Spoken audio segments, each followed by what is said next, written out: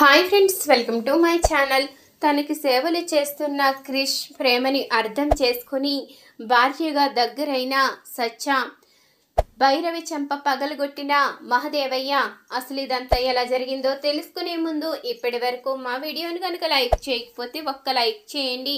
మా ఛానల్ని సబ్స్క్రైబ్ చేసుకుని పక్కనే ఉన్న గంట సింబల్పై అలానే క్లిక్ చేయండి. అప్పుడే మేము పెట్టే ప్రతి వీడియో మీరు మిస్ కాకుండా చూసేవచ్చు. సచ్ అయితే ఇక బోనం అమ్మవారికి సమర్పిస్తుంది. ఇక క్రిష్ అందరూ కూడా చాలా సంతోషపడుతూ ఉంటారు. ఇక క్రిష్ నానమ్మ అయితే పంతులు గారిని అడుగుతూ ఉంటుంది. పంతులు గారు నా మనవరాలు బోనం సమర్పించినట్టే కదా అంటూ అడగగానే అవునమ్మా సమర్పించినట్టే అంటూ పంతులు గారు అయితే చెప్తూ ఉంటారు. అలా కాదు పంతులు గారు మీరు ఇంకా గట్టిగా చెప్పండి. నా మనవరాలు తను పెట్టిన పరీక్షలో నెగ్గింది అని తను ఏ తప్పు చెయ్యలేదని ఇక్కడ నోటికొచ్చినట్టు వాగిన వాళ్ళకి అర్థం కావాలి. ఇక ఎప్పుడైనా నోరు ఎత్తడానికి భయపడాలి. మీరు గట్టిగా చెప్పండి అంటూ ఇక కృష్ణానమ్మ అనగానే ఇక పంతులు గారైతే అవునమ్మా బోనం సమర్పించడం సంపూర్ణంగా పూర్తయింది. ఈ అమ్మాయి బోనం సమర్పించినట్టే అంటూ ఇక పంతులు గారైతే చెప్తూ ఉంటారు. ఇక క్రిష్ సచ్చ అందరూ కూడా చాలా సంతోషపడిపోతూ ఉంటారు. భైరవి మాత్రం కోపంతో రగిలిపోతూ ఉంటుంది. ఇంతలో సచ్చ అయితే మహాదేవయ్య దగ్గరికి వస్తుంది. మామయ్య ఇప్పటికైనా నమ్ముతారా? నేనే తప్పు చెయ్యలేదు అని నేను విజయ గర్వంతో మీ దగ్గర నిలబడి మాట్లాడడం లేదు. నా తప్పు లేదని నిరూపించుకున్నానని మీకు చెప్పడానికి ఇలా చెప్తున్నాను అంటూ సచ్ అయితే చెప్పగానే ఇక మహాదేవయ్య అయితే ఏం మాట్లాడకుండా మౌనంగా అయితే వెళ్ళిపోతాడు. ఇంతలో భైరవి అయితే కోపంగా పక్కకి వెళ్ళేసరికి పని మనిషి కూడా పక్కకి వెళ్తుంది. ఏంటమ్మా ఇది? మీ కోడలు గారికి ఇంత శక్తి ఉందని తెలియదు. దానికి తగ్గట్టు ఆ దైవ బలం కూడా తోడైంది. అందుకని అమ్మవారు బోనం సమర్పించుకునేలా చేసుకున్నారు అంటూ ఇక పని మనిషి అయితే అంటూ ఉంటుంది. ఇక ఆ మాటలకి భైరవికి అయితే కోపం వస్తుంది. నేను నీకు చెప్పాను మూడో గోళీ కూడా వెయ్యమని. నువ్వే వెయ్యలేదు అంటూ ఇక చెప్తూ ఉండగా ఇంతలో నందిని అయితే వస్తుంది. ఆ మూడో గోళీ నువ్వు మింగే అంటూ ఇక నందిని అనగానే ఏంటే అలా మాట్లాడుతున్నావు అంటూ ఇక భైరవి అడుగుతూ ఉంటుంది. నువ్వు బోనం ఎత్తిని వెంటనే మజ్జిగిచ్చినప్పుడే నాకు అర్థమైంది. ఇలాంటి కుళ్ళు ప్లాన్ ఏదో చేశావు అని. కానీ అందరి ముందు కన్న తల్లి పరువు తీయడం ఇష్టం లేక మాట్లాడక నోరు మూసుకుని ఊరుకున్నాను. కానీ వదిన మంచితనాన్ని ఇప్పటికైనా అర్థం చేసుకో. నాకులాగే నువ్వు కూడా మారు అంటూ ఇక నందిని అయితే చెప్తూ ఉంటుంది. ఇక భైరవి మాత్రం కోపంతో రగిలిపోతూ ఉంటుంది.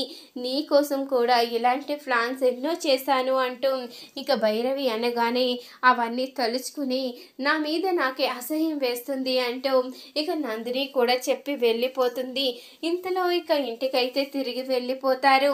ఇక మరొక వైపు క్రిష్ అయితే భోజనానికి కూర్చోగానే ఇంతలో భైరవి అయితే వడ్డిస్తూ ఉంటుంది. అమ్మా బాపు ఏరి అంటూ ఇక క్రిష్ అనగానే ఆయనకి ఆకలి వేయడం లేదంట. తినను అన్నారు అంటూ ఇక చెప్పగానే ఇంతలో కృష్ణానమ్మ అయితే ఆకలి వేయలేదా?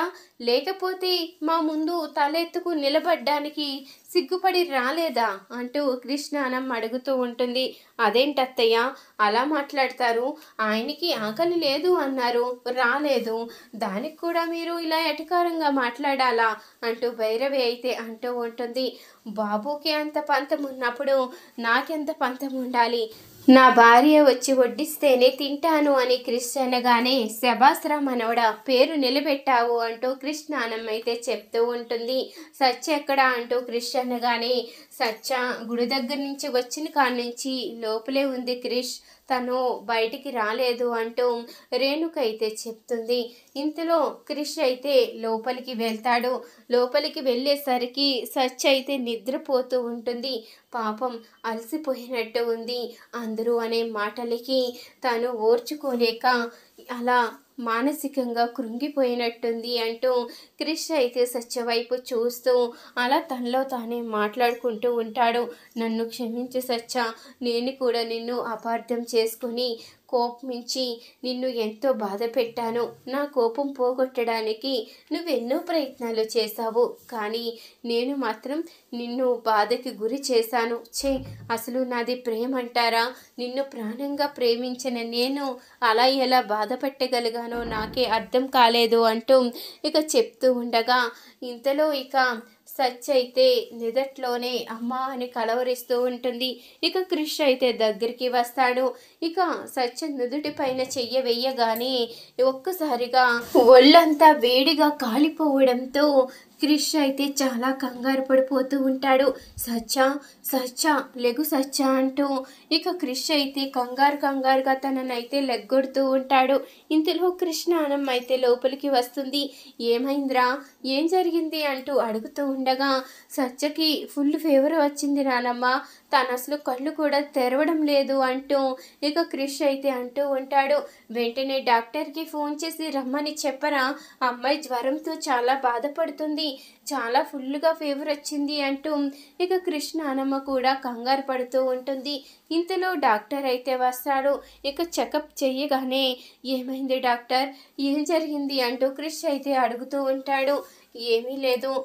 తనకి బాగా కాస్త ఫేవర్ ఎక్కువగా ఉంది. ఏ విషయంలోనూ బాగా అతిగా టెన్షన్ పడినట్టున్నారు. అందుకనే ఆ ఎఫెక్ట్ ఎలా చూపించింది అంటూ ఇక డాక్టర్ అయితే చెప్పగానే క్రిష్కి అయితే అర్థమవుతుంది. సరే నేను కొన్ని ట్యాబ్లెట్స్ రాసిస్తాను. ఆ ట్యాబ్లెట్స్ మీరు టైంకి వేయాలి. అప్పుడే జ్వరం కంట్రోల్ అవుతుంది. లేకపోతే జ్వరం కంట్రోల్ అవ్వడం చాలా కష్టమైపోతుంది అంటూ డాక్టర్ అయితే చెప్తూ ఉంటాడు. సరేనండి నేను ఖచ్చితంగా దగ్గరుండి చూసుకుంటాను అంటూ ఇక కృష్ణ అయితే చెప్తూ ఉండగా ఈ మాట విన్న భైరవి అయితే చీ వీడెప్పుడూ ఇంతే. పెళ్ళం కుంగు పట్టుకు తిరుగుతూ ఉంటాడు. కన్న తల్లిని నన్ను అర్థం చేసుకోడు. పెళ్ళాన్ని మాత్రం ఎక్కడ కాలు కింద పెట్టకుండా కందిపోతుందేమన్న భయంతో చూసుకుంటూ ఉంటాడు అంటూ భైరవి తన మనసులో అనుకుంటూ ఉంటుంది. ఇక డాక్టర్ వెళ్ళిపోయిన తర్వాత క్రిష్ అయితే సత్యకు దగ్గరుండి సేవలు చేస్తూ ఉంటాడు. ఎందుకు క్రిష్ నీకు శ్రమ?